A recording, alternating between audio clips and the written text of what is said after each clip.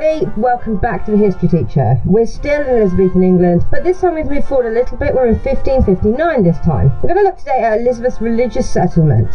Now, the idea behind this settlement was that she wanted to make a religion that would suit both Catholics and Protestants, that everybody would be happy with. So, we're going to have a look today at how successful she was in doing that and what the religious settlement actually looked like. So, there's two parts to the religious settlement that you need to know about. One is the Act of Uniformity, and the other is the Act of Supremacy. The Act of Supremacy is probably the most important one. It's the one that establishes Elizabeth as being supreme governor of the Church of England. Now, this means that all clergy, all royal officials have to swear an oath of allegiance to her. And this is really important because this really clearly sets the line between Catholic and Protestant. No longer are the clergy responsible to the Pope, they are now responsible to Elizabeth. Also, sets up an ecclesiastical high commission. The plan behind that is to make sure that everybody in the church is doing as they're and that Elizabeth's religious settlement is being followed. If any clergy were failing to follow this, then they could be punished. The second part of this was the Act of Uniformity. And this just set up the appearance of churches and how religious services were to be held. It required everybody to attend church and it laid out this is what churches should look like.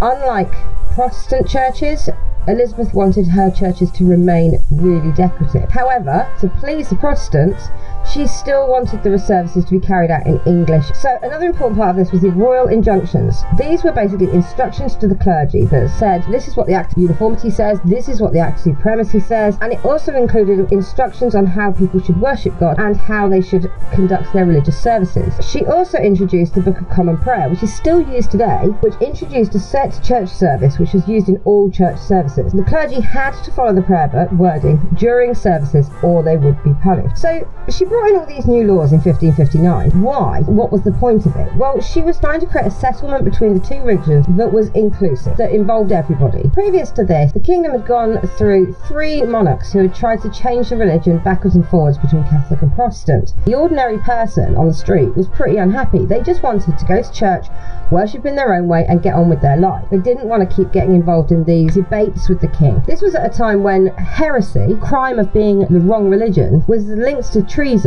so if you were the wrong religion at the time, you were also a traitor. And this was a really bad situation for some people. The wording of the new prayer book was a bit ambiguous. It meant that people could interpret it in different ways. The communion sacrament, which is referred to in the Book of Common Prayer, could be interpreted as the body and blood of Jesus, which is transubstantiation, which is Catholicism, and that would have appealed to Catholics, while for Protestants, they could view it as an act of remembrance. So, in that case, both parties were pretty happy. Elizabeth banned pilgrimages to fake miracles, which really pleased a lot of Protestants because a lot of Protestants didn't like the way that some members of the Catholic Church were making money out of fake miracles. However, Catholic would have approved of the wording fake miracles because it implies that there are some real miracles. Also, Catholics would have been pretty pleased with the uh, use of candles and crosses and all the vestments that the priests wore in the church services. And if you go and have a look at a Church of England church today, you will see that those changes that Elizabeth brought into place are still in place today. So, how did this actually impact on people? Well, 8,000 out of about 10,000 clergy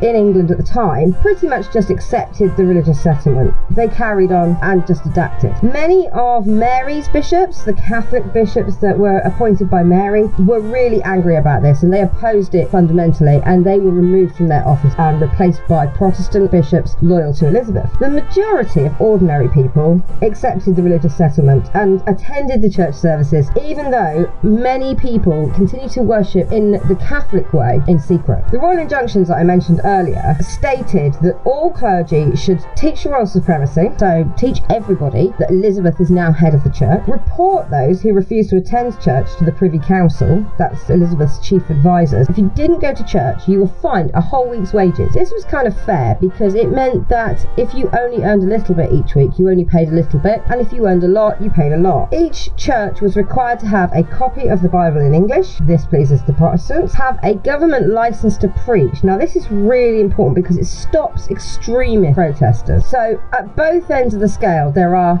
extremist Protestants, generally known as Puritans, and extremist Catholics. So these people are preaching their extreme same ideas. And Elizabeth doesn't want this, so she makes sure that everybody's got a license so that everybody is saying what she wants them to say. Clergy were also required to prevent pilgrimages, religious shrines, and monuments to fake miracles, and they were required to wear special clothes and vestments. So that's all of the detail for the religious settlement. This is really, really important that you know this stuff.